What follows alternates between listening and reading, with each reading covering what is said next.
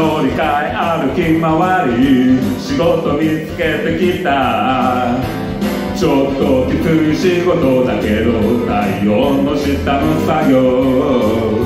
仲間が集まり俺のために開いたパーティー。お前もやっと大人になったなんて言われてさ。でも心はいつ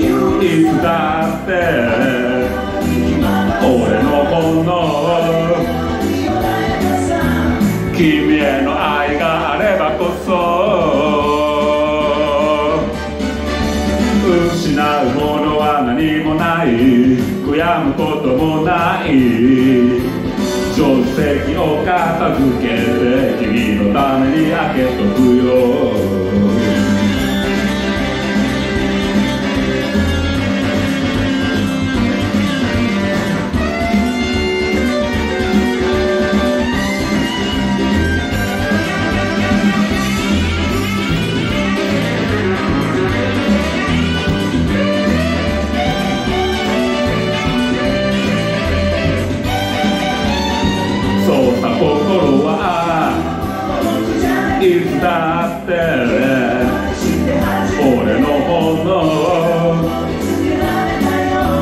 君への愛があればこそ。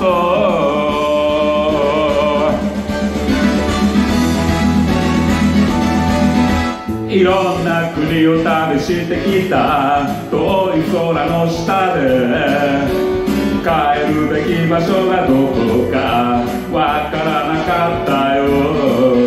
愛する人の住むところがどこだろうが。